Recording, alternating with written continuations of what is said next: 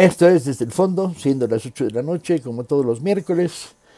Va a ser un programa breve, uh, porque estamos concentrando baterías y cañones para lo que va a pasar la próxima semana, donde estaremos un día antes de la venta del garage tradicional que hace el fondo, y este año el fondo y Educal, uh, y que vamos a tener muchas sorpresas y muchas variaciones. Es tiempo de COVID, quédate en casa leyendo, y es tiempo de COVID además, este, para nosotros uh, sin la posibilidad. Cancelaciones, nuevas cancelaciones de ferias, pocas posibilidades, librerías abiertas en la medida de lo posible, con venta de mostrador, ofertas para que podamos mandarles el libro a su casa gratis, si cuesta menos de 500 pesos la compra, para, para que no les se produzca el absurdo de que el envío cuesta más que el libro. Hoy tenemos a, a Citlali Hernández leyendo un poema dentro de la política de quédate en casa y quédate en casa leyendo, Vamos a hablar con la escritora cubana Carla Suárez sobre la próxima novela que tendremos en la calle, El hijo del héroe. Uh, Alejandro Camarena dará un, una panorama, un panorama de los círculos de lectura, sobre todo en las normales que estamos creando. Hablaremos de la Feria de Lima, como no, eh, y de que en Guatemala nos vamos a otra librería, cambiamos de sede. Uh, por último, yo les comentaré brevemente un libro que me impresionó notablemente, que sale, ayer salió, La historia de la ciencia en los países del Islam, del, del argelino Ahmed Dehbar. Y por último, el libro que vamos a regalar, que va a ser Salambó, para el cual tanto Rocío como Andrés estarán comentando la sorprendente personalidad de Gustave Flaubert. Ah, y luego, en 35 minutos, vamos al en vivo, a dudas, debates, y se reciben injurias, descalificaciones, miradas chuecas. Bueno, al fin y al cabo, esto es la 4T y está sometida a las tormentas. La 4T es de 4 de tormentas. Pero que quede claro, palo que nos dan, palo que devolvemos. Este, y es un placer. Nos vemos en 35 minutos para el directo.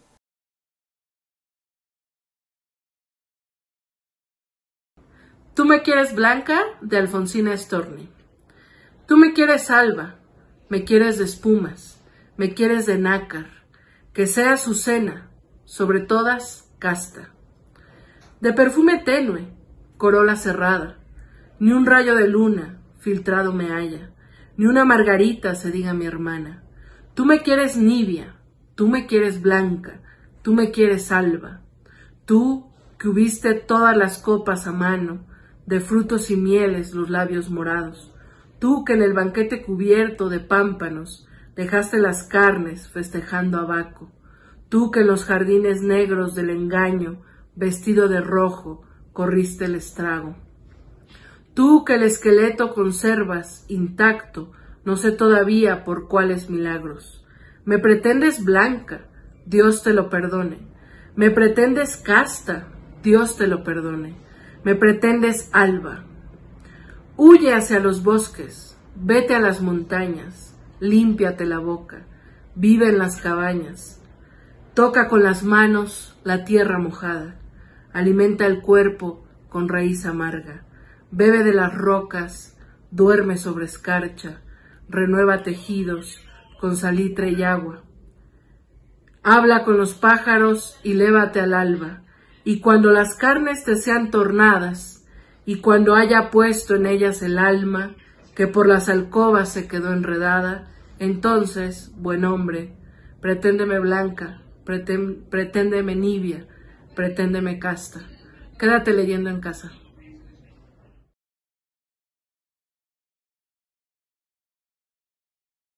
Ya estamos muy cerca de cerrar la edición, así que queremos conversar de una de nuestras próximas novedades de la colección popular, El Hijo del Héroe, de la escritora Carla Suárez. Eh, Ernesto, a la edad de 12 años, recibe la noticia de que su padre ha muerto en la guerra de Angola es una guerra que entre 1975 y 1991 tuvo mucha participación de cubanos. Entonces, bueno, de pronto Ernesto, eh, a los ojos de los demás, se ve convertido en el hijo del héroe y es un peso que empezará a cambiar su vida, ¿no? Entonces, entre distintas edades, distintas ciudades, Ernesto va eh, tanto averiguando la influencia cubana en África por esta guerra eh, y su propio lugar en el mundo, siempre con el padre o su fantasma ahí detrás de él. Eh, Carla Suárez es escritora, nació en La Habana, ¿no? Radica en, Lisboa. Eh, su obra es cronista, cuentista, escribe novela, su obra ha tenido varios premios, como el Lengua de Trapo en Madrid o el Carbet del Caribe en Francia. Es autora, entre muchos otros libros, de Habana Año Cero, Carroza para Autores y Espuma. Y nos da muchísimo gusto a Paco Taibo y a mí tenerla aquí conectada, Carlita Suárez, para que nos cuente más sobre el hijo del héroe. Hola, Carla, nos damos Hola, hola. Bueno, gracias, gracias por estar aquí. Eh, pues nada, esta novela es, es, una novela que yo me debí hacía mucho tiempo porque yo tengo la edad de Ernesto, mi personaje, y crecí con toda la influencia de la guerra. La guerra empezó cuando yo tenía cinco años, crecimos con esto, mi padre estuvo en la guerra, luego fueron amigos míos a la guerra, y fue un tema con el que, que, que convivimos muchísimas generaciones de cubanos de todos esos años, ¿no? Y entonces era, yo había ya sacado el tema de alguna novela, algún personaje que va a la guerra, pero bueno, no había dedicado, yo quería dedicarle mucho más tiempo a esto. Y no es una novela sobre la guerra, porque no me interesaba exactamente, mm. eh, aparte, aparte que la novela sí recorro todo el periodo que duró la guerra, la participación de los cubanos, pero la novela no se desarrolla en la guerra, no se desarrolla en los escenarios, sino me interesaba ver la guerra desde el otro lado, cómo a alguien que está lejísimo, porque nosotros estábamos en Cuba y la guerra estaba en Angola, que era bien lejos, cómo la vida te puede cambiar con un, conflicto que está sucediendo muy lejos de ti. Y luego me interesaba no la figura del héroe, sino del hijo las consecuencias, o sea, desde la, otra gente que está del otro lado de la guerra, que sufre las mismas consecuencias y bueno, en este caso las heridas de Ernesto son mucho más fuertes porque son, son muy cercanas, ¿no? Eso es lo que me interesaba ver, o sea, ver, hacer una, una visión global del fenómeno, pero desde verlo desde otro lado. Y, bueno, nada, estuve como cuatro años ahí leyendo toda documentación hasta que siempre digo, había leído tanto que llegó un momento en que ya estaba, tenía la cabeza llena de voces y dije, ya, stop, hasta aquí llegué, empiezo a escribir porque ya, ya no, ya, es porque es una novela además, no es un libro de historia, entonces, bueno, por ahí. A mí me parece un libro bien inteligente, Carla, bien inteligente. Gracias. Porque de alguna manera ah, los cubanos han crecido bajo una presión tremenda, la, la presión de, de los Estados Unidos, los bloqueos, la presencia soviética Ah, convertida en manuales, dogmas, ah, influencia nefasta en educación, etcétera, ah, el aislamiento y, las restricciones de la, de la, propia economía. Pero hay una componente muy potente en, en, la cubanidad, por lo menos la que uno registra cuando va por ahí, que es, surgen de una generación heroica, la generación de, de la revolución antibatistiana, está llena de anécdotas, mitos, es, como bien se dice cuando se habla de Camilo, ¿no? Es rumbera, no solo es heroica, es rumbera. Y de repente tienes una ruptura generacional y aparece el fenómeno Angola, que es percibido de una manera muy rara, como cercano pero lejano, ajeno pero propio. Y entonces es un dilema tremendo para un novelista entrarle a, a esta percepción. Y está bien que hayas elegido personajes de la segunda de la segunda generación y de la segunda línea, porque te permite sacarla de la crónica. Por cierto, que después de que yo he leído tantos libros como tú sobre la guerra de Angola, me falta una buena novela sobre la guerra de Angola, una de de veras, la otra novela, no esta, la otra, ¿no? Pero está muy bien, me parece un libro muy inteligente y sobre todo ah, muy bien contado, muy bien construido. Sí, muy padre. Gracias. ¿Cómo, ¿Cómo decidiste que fuera Ernesto y no...? Pues mira, y bueno... Que tú te, de alguna manera te identificas, ¿no? Pero claro, me identifico con Ernesto porque tenemos la misma edad, vivimos los mismos tiempos y bueno, estuvimos en la misma ciudad, ¿no? Y luego hay otras ciudades, Ernesto vive en Lisboa en el momento actual porque la novela pasa desde toda la vida de Ernesto, ¿no? Y, pero desde el principio tuve claro que tenía que ser un hombre, porque te, decía siempre, me interesa ponerme siempre del otro lado de las cosas para, para contar una historia, ¿no? Y en este caso me interesaba mucho que fuera un hombre por varias razones. Primero, todo el machismo que hay en Cuba. Luego, todo el imaginario revolucionario cubano es, es masculino. Es los hombres fuertes que van a la guerra y un hombre no puede decir que no. Y, todo, y eso se vivía, se vive con la, como se vive ahí en el Caribe, pero además con toda esta connotación ideológica que tenía y era una carga muy fuerte. Entonces, claro, por ejemplo, el, Ernesto, el personaje, cuando el padre muere, él tiene una hermana, hay una hermana también, hay una hija la, del héroe, ¿no? Pero la niña que es más, tiene dos años menos que Ernesto, tampoco es tan chiquitita, pero a la niña llora y todo el mundo comprende que la niña llora. Ernesto, la abuela desde el principio le dice, los hombres no lloran. Y entonces, y Ernesto crece con esa responsabilidad, o sea, se convierte de un día para otro en el hombre de la casa y en el hijo del héroe sea, tiene todas las connotaciones y toda una carga que él tiene que aguantar. Entonces, a mí me parecía, desde el punto de vista literario, muy interesante, porque es meterme también en otra piel y en otra o en otras circunstancias, y me interesaba dar eso, y darlo desde... Hay, Ernesto, por supuesto, está rodeado de mujeres, porque está su madre, su abuela, su hermana, su mujer, su esposa, sus novias, todas, muchas mujeres que están, que le van... Y él es un personaje que es el hombre detenido, como le dice su esposa, porque es un hombre que se queda bloqueado a los 12 años por esta responsabilidad que, le tiran en la cabeza, y, luego es un hombre que se deja, o sea, como que se deja conducir, ¿no? Y entonces me interesaba este, este personaje, ¿no? El, el, que está, o sea, no, no tiene que ver conmigo en ese sentido, por supuesto, pero eso es lo interesante de la literatura, cuando uno se va a contar la vida mía, pues no es tan interesante, prefiero meterme en la vida de otro, ¿no? ¿Será, ¿Será que no es tan interesante la vida tuya? Todavía, pero, que la... todavía recuerdo el día en que una cena en algún lugar de Europa descubrí que había sido rockera y cantante de los las vaqueritas de, de country, de mus, no, así no se llamaba. Es cantante de country y rockera y, y, y, corista de rock, y sí, sí, como no. Claro, las múltiples vidas, soy como un gato, ¿no? Tengo siete vidas como el gato y todas ahí irán saliendo, pero por pedacitos en las novelas, claro. Aquí también en esta novela hay mucho de mi, de, mi, de mi formación en Cuba, claro, en La Habana, que tiene mucho que ver con la formación de Ernesto. ¿Y ahora qué sigue, Carla, desde el punto de vista nuestro de lectores? ¿Hacia pues dónde te vas a ir? Porque llevas un buen tiempo fuera de Cuba, viviendo en Europa. Sí. Ah, ah, y para los cubanos vivir en Europa significa seguir, seguir contando Cuba es una tradición inevitable.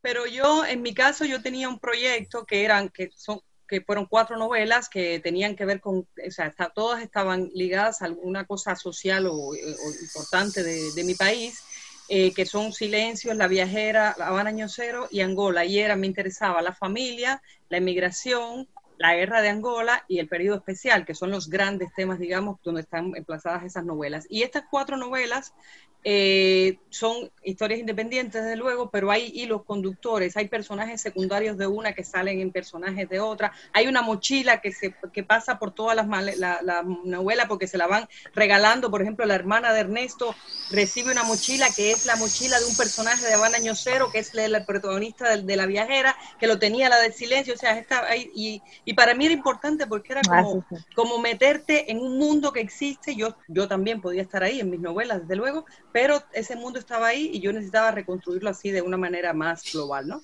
Y entonces ahora ese proyecto se acabó, es mi, mi sinfonía habanera, y ahora empecé una nueva sinfonía. Entonces ahora empecé, estoy terminando justo una novela, y, pero aunque el personaje es cubano, porque no me puedo escapar, pero, pero no, la historia no, la historia es más es en Europa. Claro, yo llevo bastantes años viviendo ya en Europa, entonces sí hay muchísimas historias que contar además, así que bueno, Mándanosla, Carla, cuando esté terminada. cuando estoy, ahí terminando. Yo creo que va a sorprender tu novela.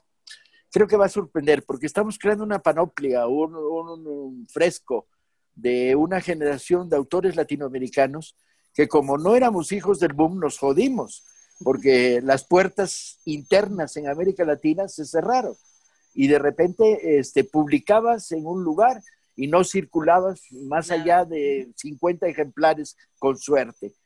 Y las transnacionales españolas desarrollaron una mentalidad de te publico en tu, en tu rancho, pero eres, sigue siendo desconocido en el resto. Y la industria argentina se ponchó y se mandó. Y el libro cubano de exportación, después de haber sido la gloria para muchos de nosotros, desapareció. Y en México el relevo nadie lo tomó y, yo creo que ahora vuelve, volvemos, y yo creo que no nos tomará mucho tiempo volver a recuperar a esta generación, que va desde, los, desde los ancianos como yo hasta los jóvenes como tú. Oh. Pues qué bueno, porque hay muchísimos, claro, y eso que es, es cierto, porque los libros luego no viajan, se quedan en su lugar. No, y no, Y no, y no te enteras, ¿no? Claro. A mí me hace muchísima ilusión publicar en, ahora con ustedes porque además, bueno, México aparte que es un país que amo y que adoro y que conozco muchísima gente y he ido muchísimo y la verdad es que me hace, me da muchísima alegría, la verdad.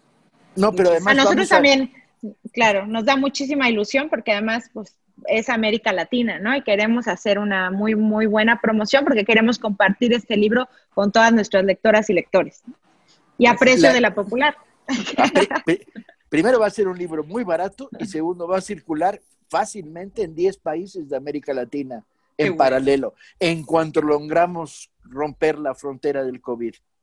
Es nuestro primer día de promoción, pero esto va a continuar y sobre todo mantendremos a los lectores atentos de cuando ya tengan el libro en las librerías y en su versión digital. Y yo aquí estoy para todo lo que, todo lo que haga falta. Aquí estoy a acompañarlos a ustedes y a Ernesto. Te bombardearán, no te preocupes. Qué bueno. Ah, jóvenes, Carla Suárez, una nueva voz que se incorpora a la popular. Pues muchísimas gracias. Encantados, Carla, nosotros. Un, beso, un abrazo. Chao, gracias.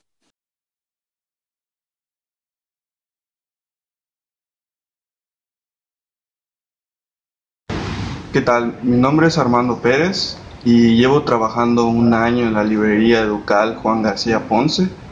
Y en lo personal, eh, una librería significa el espacio donde tú inviertes por conocimiento, información y que posteriormente puedes utilizar o puedes compartir y trazar una opinión que puedes, donde puedes aportar a la sociedad.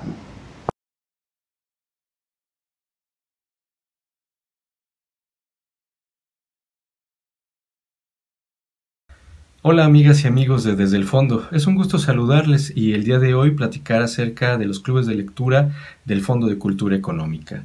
¿Y qué son estos clubes de lectura? Pues es simple y sencillamente cualquier eh, lector, cualquier persona que quiera contribuir a fomentar la lectura por gusto, por placer entre sus personas más cercanas, pues puede hacerlo. Es muy sencillo, lo único que tiene que hacer es invitar a sus familiares, a sus amigos, vecinos, a sus compañeros de trabajo, a sus compañeros de escuela, a reunirse una vez por semana y convivir, echar relajo, eh, disfrutar, eh, teniendo como eje siempre la lectura, el libro y la literatura. Es así de sencillo. Esta iniciativa eh, se ha promovido principalmente en las escuelas normales públicas del país porque lo que buscamos es que los normalistas, los futuros maestros, tengan un espacio donde poder descubrir y desarrollar su gusto por la lectura para que en un futuro pues puedan ser maestros y maestras lectores. Eh, ahora bien, también muchas personas de la sociedad civil han respondido a este llamado y actualmente tenemos más de 100 eh, clubes de lectura eh, con voluntarios de los diversos estados del país.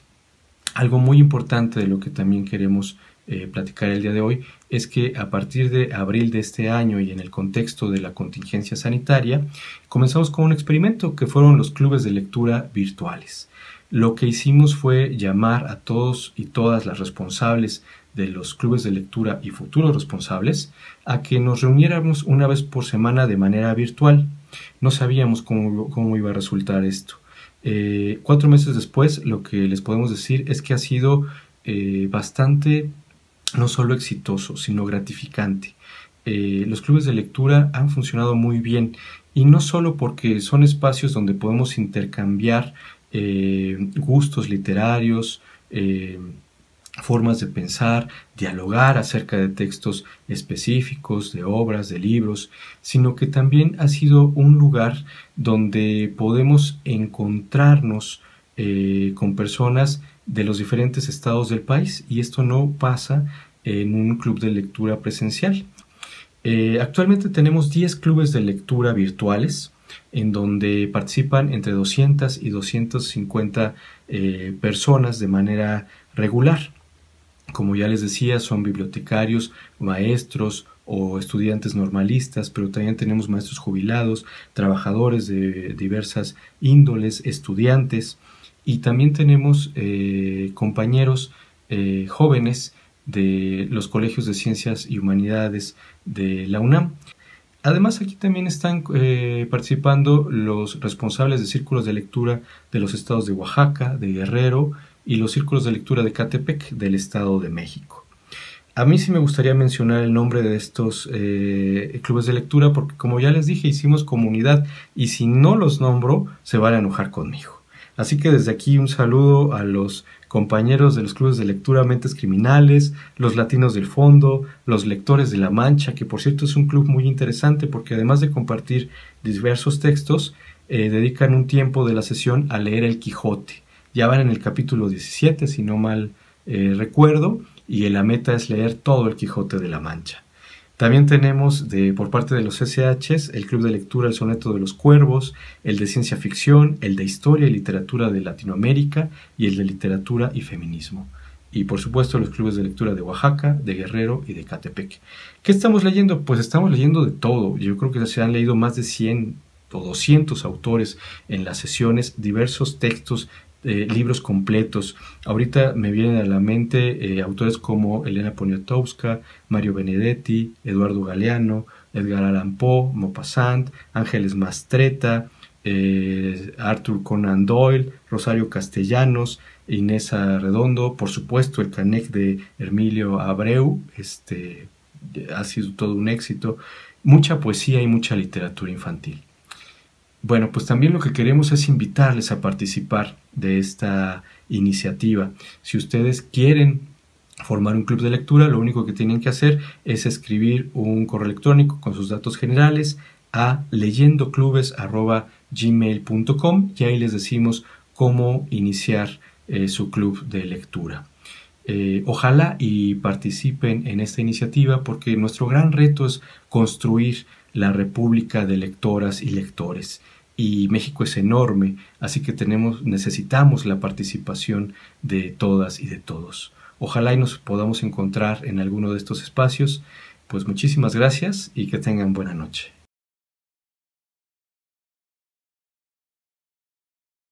Amigos de Desde el Fondo, es un enorme gusto saludarlos. Esta es la sección internacional. Eh, y bueno, lo que queremos en esta ocasión es primero consignar, se está llevando a cabo en este momento la FIL Lima, la inolvidable Phil Lima, y hay en ella varios de los títulos que hemos publicado aquí ya distribuidos por allá, además de otras ediciones peruanas, o bueno, recientes publicaciones peruanas, y como ellos dicen, otras recién llegadas desde México. Es el caso de Space Invaders, de Nona Fernández, esta reflexión tremenda sobre la dictadura chilena vista a través de los ojos de un grupo de pequeños, eh, La responsabilidad social en salud, un libro que viene muy a cuento con la coyuntura social, Una belleza de Becky Urbina, libro infantil Algo Azul y también La lengua oral, destino individual y social de las niñas y los niños, un volumen especialísimo que ya se está distribuyendo por allá, además de integrante de nuestra colección popular, el clásico de James Grady,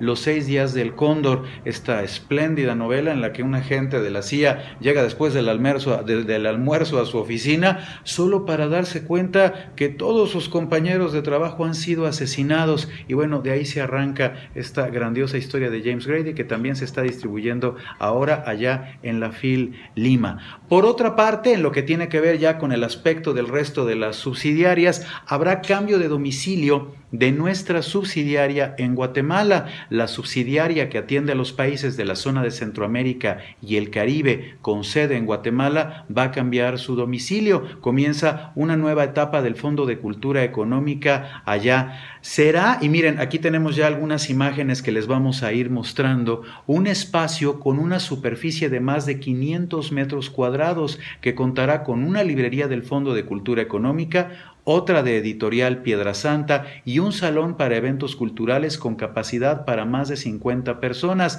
Ello implica que allá en el Fondo de Cultura Económica en Guatemala van a renacer dentro del Centro Cultural Fondo de Cultura Económica Piedra Santa. La librería va a tener en exhibición más de 20 mil ejemplares, dentro de la cual estará presente, pues naturalmente, el fondo editorial y el de las editoriales que se van a distribuir allá. Contará con una sección amplia, especial, donde se va a dar oportunidad a las editoriales guatemaltecas para que oferten sus propias publicaciones y habrá además un salón para eventos que tendrá una agenda cultural mensual en la que se van a desarrollar talleres, presentaciones de libros, capacitaciones, cuentacuentos, etcétera. Este nuevo espacio va a estar más cercano a la población de la ciudad capital, ya que se va a encontrar muy cerca, a unos pasos de una calle muy popular allá, la sexta en la zona 1. Bueno, pues allá los esperan, Fondo de Cultura Económica Guatemala, 11, calle 6-55, zona 1. Toda la información www.fceguatemala.com. Esto es todo por el momento en nuestra sección internacional. Aquí nos encontramos la semana entrante para consignar más actividad que tenga que ver con el mundo de las subsidiarias alrededor del planeta en lo que tiene que ver con el Fondo de Cultura Económica. Continuamos con Desde el Fondo. Este es Francisco Barrios el Mastuerzo, solamente para contarles que a propósito de esta pandemia y de los motivos que nos acercan a los seres humanos, pues de pronto vamos redescubriendo la lectura, por ejemplo. Eh, cuando era chiquillo, pues yo no leía mucho, yo leía lo que tenía que, leer en la escuela y tal, ¿no? Pero veía leer a mi carnal mayor, a mis hermanos mayores, eh, y de alguna forma me provocó esas ganas de leer un poquito de quitarme lo burro.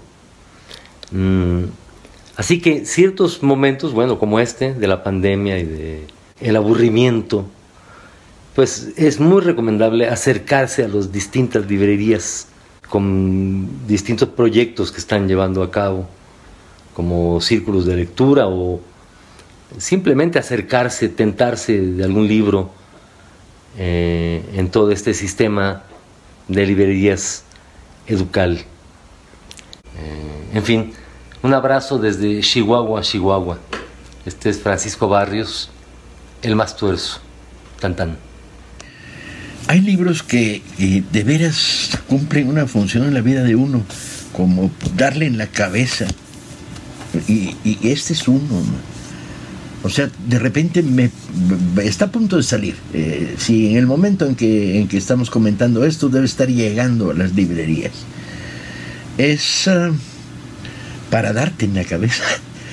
A, mí, que soy un alfabeta ilustrado variante, digamos, que conozco mm, en algunos terrenos mucho y en algunos nada, ah, la divulgación de la ciencia nunca ha sido sujeto de profundos intereses. De vez en cuando cae un libro en mis manos que me, parece muy grato.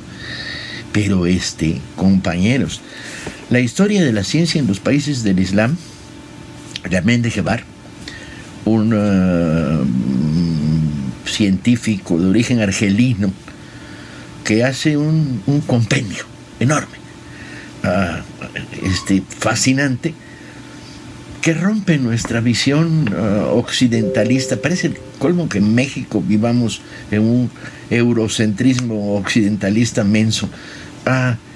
y de repente dice, no, espera, espera. Esto produce el mundo del Islam y empieza a contarte historias. Y entonces de repente descubres algo que deberías saber, ya lo habías oído, el nacimiento del álgebra. Ah, caray. Pero de repente te encuentras con historias fascinantes sobre que eh, en el siglo IX, ah, en el mundo islámico, se produce eh, el libro de los, procedimientos ingeniosos. O hay un libro fascinante, La ciencia de los relojes, eh, que se edita en el mundo árabe en 1200. O el libro elegante de las catapultas. El, libro te va llevando de la física a la astronomía, a las matemáticas, a, a las extrañas herencias de cómo llegan desde el mundo griego hasta el mundo occidental, pasando por el mundo árabe, a los textos clásicos de la filosofía. Es, es un libro sorprendente y fascinante. Debe estar llegando en estos momentos a nuestras librerías. No pierdan la oportunidad de, quitarnos tierra de enfrente de los ojos y de ilustrarnos en el mejor sentido de la palabra.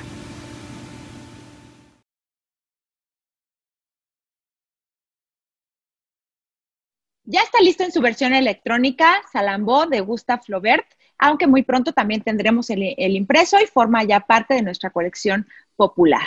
Em, con esta novela queremos que el concepto de clásico de un vuelco de 180 grados y nuestros lectores vean que Gustave Flaubert escribió una eh, novela de aventuras, de intrigas, de amores, de pasiones, de traiciones, eh, pérdidas, dolores y todo lo que te acompaña a una historia cruel y violenta. Eh, la novela se ubica, Salambó, en el siglo III, en Cartago, justo después de la Primera Guerra Púnica, en la llamada Guerra de los Mercenarios. Flaubert se estuvo documentando tanto en lecturas como en viajes eh, y logró algo como inédito en el siglo XIX, que era juntar el relato literario con lo histórico. Pero realmente lo que más sorprendió en su tiempo, y esperamos también que le sorprenda a ustedes lectores hoy en día, es toda la violencia y la sensualidad descrita en esas páginas, que la hizo una novela muy controvertida en el siglo XIX, pero también fue un superventas. Em, el argumento, bueno, Salambó es eh, la protagonista y es el objeto de deseo de un mercenario que se llama Matos y este hombre junto con un esclavo libertario, Expendio, le roban el velo de Cartago a Salambó, obligándola a ir a recuperarlo al campamento de los mercenarios. Eh, tiene que recuperarlo porque ese velo es el que envuelve a la diosa Tanit y además es como el guardián de la ciudad y quien perpetre eso, pues encontrará la muerte. Pero bueno, eh, Gustave Flaubert es este autor francés universal, eh, más conocido por Madame Bovary, y justo para hablar de él está aquí conmigo Andrés Ruiz. Hola Andrés. Hola Rocío, hola a todos, muy buenas noches. Pues sí, Gustave Flaubert es uno de los grandes novelistas de la literatura mundial, eh, sin duda alguna. Él nació, fue un hombre muy especial. Él nació en Rouen en 1821. Su padre era jefe de cirujanos del hospital de ahí. De hecho, eh, lo cual sucede a lo largo de toda su obra, se va, inspirando a, los personajes eh, de sus novelas a través de, la gente que, conoció. en el caso de su padre es el, doctor La Rivière de, de Madame Bovary y durante su primera educación él fue muy mal estudiante. Eh, le decían que era decidioso, irresponsable, pero su vocación literaria siempre estuvo presente. Empezó a escribir a, los 11 años eh, de una manera casi constante. En 1836 conoce a Elisa Schlesinger, que por cierto, inspira el, personaje de, Marie Arnaud de la educación sentimental y la, conoció en Troville. Después entra a, estudiar derecho sin mucha, sin mucha idea y abandona derecho un poco pretextando y un poco por la situación, él, él, padecía epilepsia y trataba de esconder esa enfermedad y de ahí eh, decide también abandonar París y se va a Croacia. Eh, donde, donde vive durante toda su vida eh, junto a, su sobrina, ya que su madre y su hermana mueren de una enfermedad y, él se hace cargo de, ella. Conoce a, Víctor Hugo, viaja con él a los Pirineos y a, Córcega. Se dice que, bueno, este, este viaje fue muy importante en la, en la formación de, de, Flaubert. Él después conoce a la poeta Luis Collet, que fue quizá la relación sentimental más importante de su vida. Eh, tiene una correspondencia muy, muy interesante, y, pero él, eh, a pesar de tener esta, nunca se casó. Flaubert nunca se casó, eh, eh, vivió durante toda su vida solo y vivió ahí en Croacia.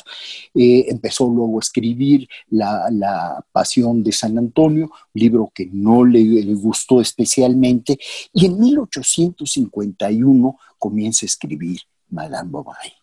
Madame Bovary le tomó 56 meses terminar eh, eh, esa novela.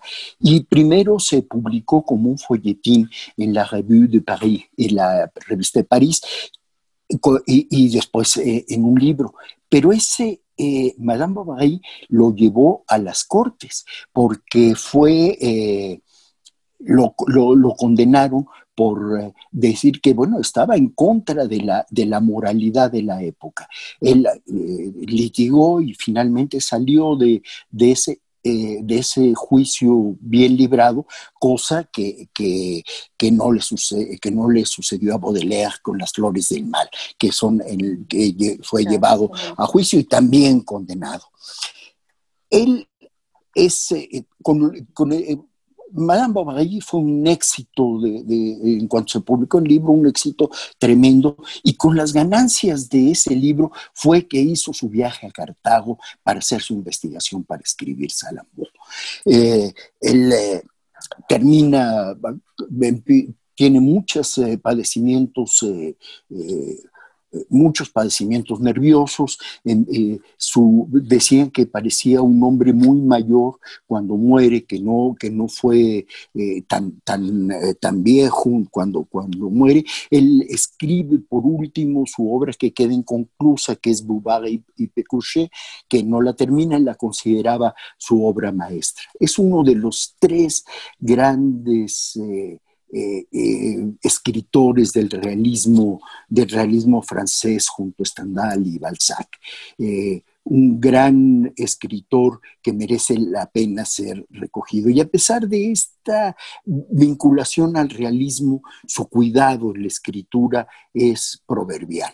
Él, hablaba mucho de, le, mot, le mot juste, la palabra justa encontrar la palabra justa. Por eso le tomaba tanto tiempo escribir, porque era un apasionado del lenguaje y eso es algo que es evidente en todas sus obras. Eh, en Madame Bovary, por supuesto, pero Salambó, que también es una sorpresa.